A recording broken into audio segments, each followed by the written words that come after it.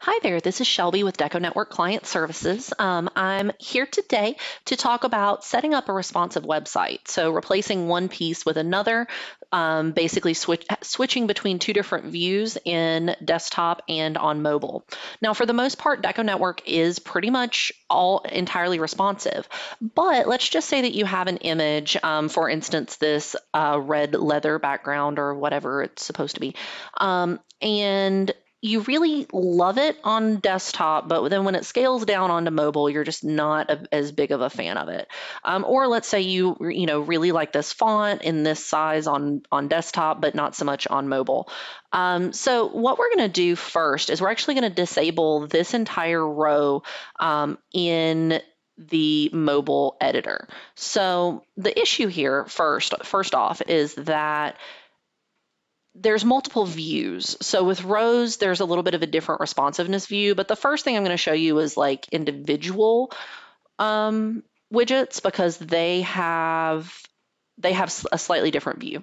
So when you go into the button widget, we're going to click the drop down, click button settings, go to responsive properties. You can just make them hidden or visible. You know, it's fairly simple. Um, you can put in some additional HTML or CSS, you know, however you wanted to do it. Um, sorry, it's CSS specifically. Um, you can put in additional CSS here. Um, you can assign custom classes and you can set specific visibility rules um, depending on other factors. Um, I don't recommend it necessarily. Um, I don't recommend doing the visibility rules unless you have a solid understanding of Boolean logic. Um, but as far as the responsive properties, anybody can make those changes. So, but what we're trying to do is get rid of this entire row. So we're gonna go to the green menu, use the drop down, go to row settings, and then we're going to go into responsive properties and I'm going to drag this over here. Now you see how it looks on desktop. So what we're going to do is we're going to click on advanced mode.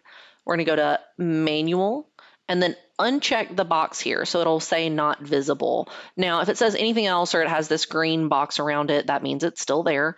Um, if you want to make it the same on tablet you can so just manual and then uncheck it's really you know up to you. Um, but I'm going to leave that one in line. We're going to hit OK.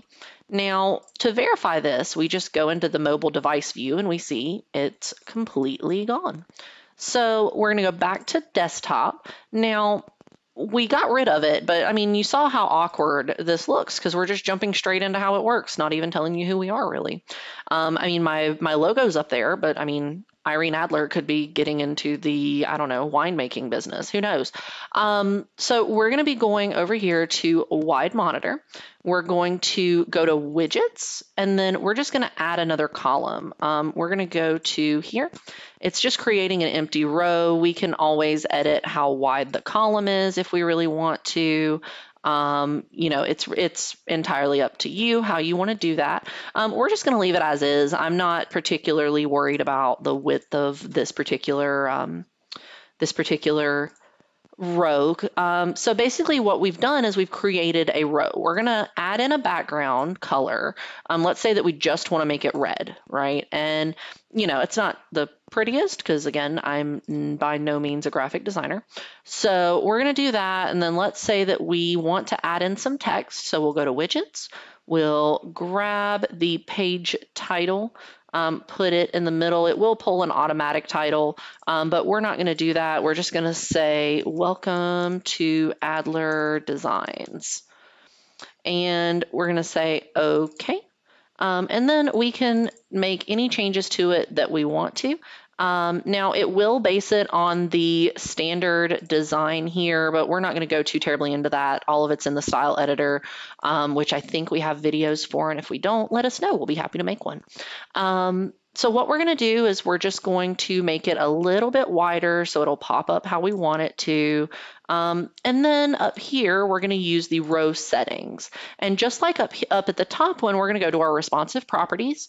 We're going to go into advanced mode, and we're going to uncheck this same as page layout. Now, it will give us a, a, a an error of sorts. It's not really an error. It's more of a warning of a, you know, you can make it look kind of funky. Um, so, but we're going to hit yes, um, and then we're just going to uncheck that. So then down here, we can go into manual under our mobile view and then click the checkbox, hit OK. And so now you see it's not really visible on our desktop. So if we go into our mobile, there we are. There's our title. So if you're trying to, and you can do this vice versa, if there's something that you know you really don't want to show on one, you can show it on the other, and you know you can kind of change things around. It does allow you to have multiple options for how your site looks. So again, let's say that you know you really um, you do a lot of business. I don't know, designing the bottoms of skateboards or something, right? Um, and by the way, if you do that, let me know. That's really cool. Um, but let's say that you design the bottoms of skateboards, and you know, on one view, you may want to have your designer up front, just so people can just go straight into it. But then on another view, you might want to have some of your pre-decorated products, or you know, some of your pre-built designs, so that they can kind of customize. You can do that. You just drag in a new widget and and, and make each row hide itself based on what they're looking at. Um, so anyway, so if you do happen to run into any problems, or you know maybe if this video helped you, feel free to like it, share it, whatever. Um, you can subscribe to our channel. We always appreciate that, and it will help you keep keep updated on you know whenever we do updates for Deco Network, um, any kinds of instructional videos that we create, or even some marketing videos. You know, really up to you. I hope you enjoyed this video. I hope it was really helpful. If you do have any questions or anything, go to deconetwork.com. Um, if you're asking, you know, if you have any questions on how to do this, you can go to deconetwork.com slash help, and we will be always happy to help you. Hope you have a great day. Thanks.